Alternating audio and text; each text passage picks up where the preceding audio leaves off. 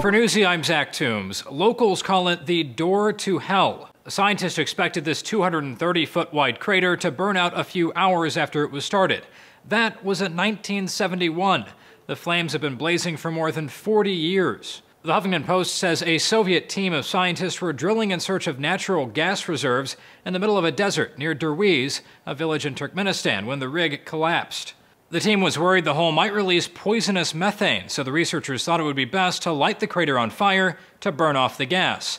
They expected this to only take a few days.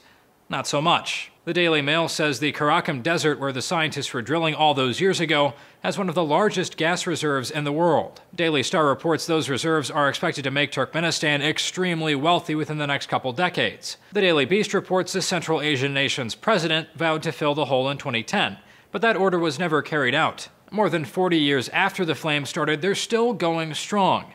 The crater has become a tourist attraction with hundreds flocking to see the fiery hole every year. One witness described the crater saying, So if you ever wanted to know what hell looked like, looks like this. We'll take his word for it. For Newsy, I'm Zach Toombs.